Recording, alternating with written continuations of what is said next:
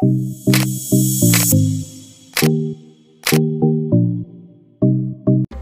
Assalamualaikum warahmatullahi wabarakatuh. Ketemu lagi dengan saya di channel vlog berita. Oke teman-teman, hari ini itu ada kabar berita dengan judul Rumah tangga di ujung tanduk Suami Sandi Aulia ngaku tak akan tinggalkan istri alasannya menyentuh.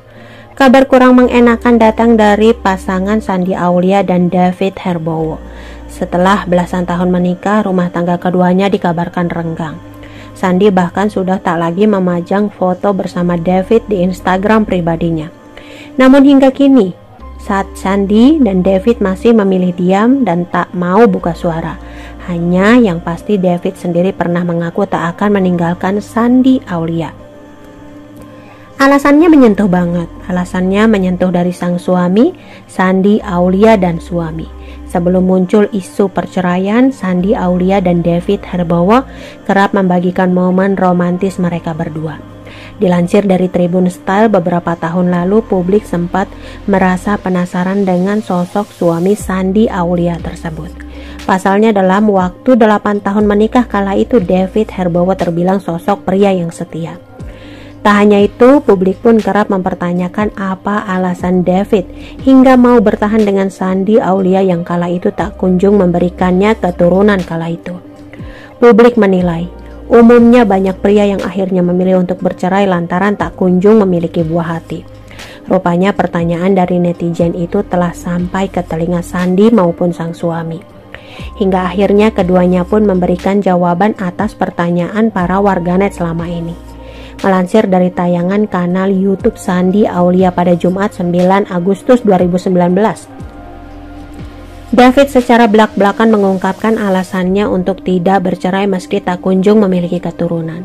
Maksudnya kalau belum punya anak, cerai gitu, kata David saat ditanya alasannya bertahan. Lebih lanjut, David menerangkan jika pernikahan bukanlah hanya soal memiliki anak. Seseorang tidak mungkin memutuskan berpisah hanya gara-gara keturunan. Saya kira pernikahan itu bukan hanya urusan belum dikaruniai anak katanya. Bagaimana soal pasangan yang belum dikaruniai anak? Apa mereka harus berpisah? Kan gak mungkin tambahnya. Pria yang menikahi Sandi Aulia 8 tahun silam itu pun mengaku jika selama ini dirinya sangat menikmati kehidupan berdua dengan sang suami. Namun, David pun menyadari jika kemarin belum diberi momongan, artinya memang masih diberikan waktu untuk menikmati waktu berdua. Kebetulan kemarin kita belum dikaruniai anak karena untuk menikmati kehidupan juga. Tetapi terlalu menikmati tapi kan belum dikaruniai juga ujarnya. Dan kini setelah sang istri dinyatakan positif hamil, David pun merasa bersyukur. Kalau sekarang kita dikaruniai ya karena kebesaran Tuhan aja, jadi kita perlu bersyukur katanya.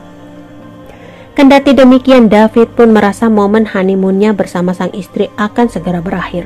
Jadi sepertinya kehidupan berdua honeymoon ini akan segera berakhir karena mau punya anak pungkas David. Rumah tangga Sandi Aulia dikabarkan retak.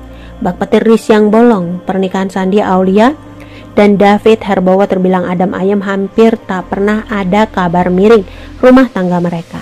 Namun mendadak isu perceraian pun membuat heboh netizen di akun Instagram milik Sandi Aulia pun tak lagi terdapat potret suami yang terbaru hanyalah dengan sang buah hati.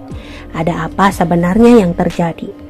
Sandi Aulia sepertinya sedang menikmati momen-momen bersama sang buah hati, sehingga potret bersama suami sudah tak ada lagi yang terbaru.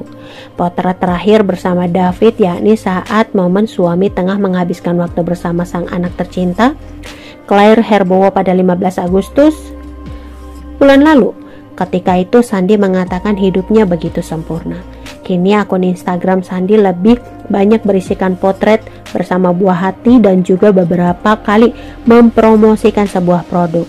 Sandi Aulia pun hingga kini belum angkat bicara terkait isu rumah tangga yang sedang menerpahnya ini. Potret Sandi bersama sang suami juga masih ada yang tersimpan di akun Instagram miliknya. Sandi sendiri menyadari memang sudah tak banyak lagi potretnya bersama sang suami. Desember tahun ini kita akan 10 tahun bersama. Lalu bagaimana kabar perceraian Sandi Aulia bisa beredar? Kabar itu mencuat lantaran adanya perubahan yang mengejutkan pada bio Instagram Sandi Aulia. Sebuah akun gosip dunia eti mengunggah perbedaan yang Oke teman-teman itu sedikit berita dari channel blog berita sampai ketemu lagi di berita-berita selengkapnya Assalamualaikum bye bye